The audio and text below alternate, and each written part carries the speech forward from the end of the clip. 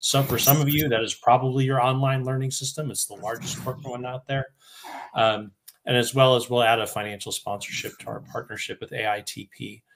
Um, we have such a common vision about how to help people. So this is a real joy for us. Um, so not only will this pro this partnership help uh, your IT professionals get the latest and greatest. I'm personally taking the AI for business curricula right now. Um, but also too this will provide an opportunity to give back. Uh, we will use the same work that, that we'll have curated together. We'll help and deploy it for second chance folks.